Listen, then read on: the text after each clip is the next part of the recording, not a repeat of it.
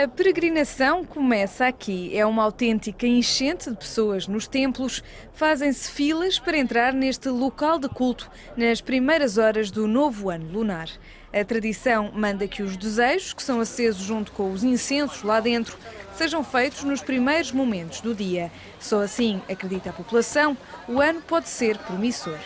啲孫就誒、呃、輕輕話話啦，誒嗰啲仔女就個個都係即係工作順利啊，誒身體健康啊咁。 O templo de Amá, na orla costeira da península, é o local mais concorrido. Ninguém entra no templo sem incensos e o tamanho importa. Quanto maior, mais caro, ou seja, maior fé na sorte para o ano todo. São também transportados cataventos, comprados neste primeiro dia do ano da cabra, para apanhar os bons ares do ano novo. 誒，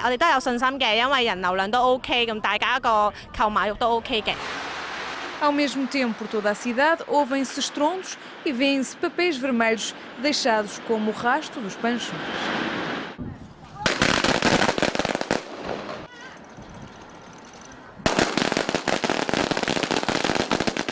Abriu oficialmente a época dos panchões. Às primeiras horas do dia queimaram-se inúmeros destes cartuchos de pólvora. Este é um dos locais públicos que serve exatamente para queimar panchões e outros foguetes. A população acredita que serve para espantar os maus espíritos.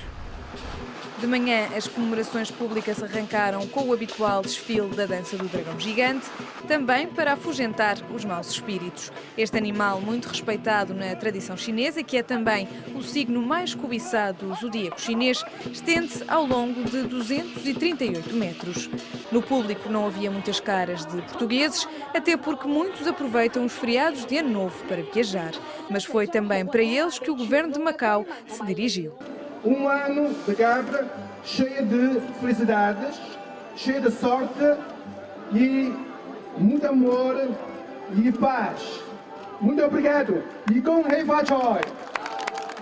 Macau, que se pretende apresentar como cidade de turismo mundial, vê, particularmente nesta época de Ano Novo Chinês, inúmeros turistas a participar nas celebrações. Do you used to celebrate the Chinese New Year? No, but I think it's a nice tradition. I'm so uh, amazed with the Chinese people. Were you expecting to have the red pocket? I was not expecting, very unexpected. What are your wishes for the new year? Um, good luck and prosperity for the new year.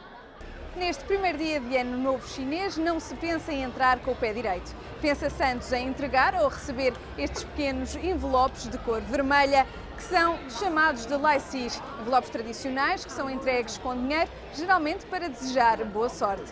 Rita Marques Ramos, com a imagem de Lao Sihou, a TDM para a RTP, nas comemorações do Ano Novo Chinês.